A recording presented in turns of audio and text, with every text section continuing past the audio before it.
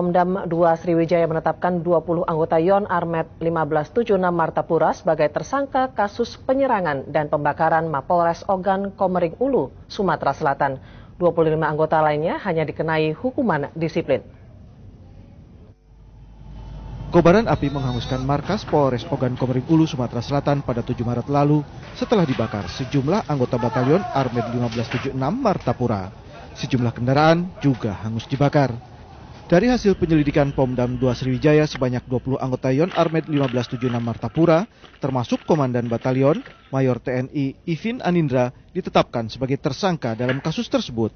Mereka akan dihadapkan dalam sidang Mahkamah Militer Tinggi di Medan. Ada 45 yang terlibat, 45 yang terlibat eh, terdiri dari eh, 20 eh, yang ditetapkan sebagai tersangka eh, dan 25 akan dijatuhkan hukuman disiplin.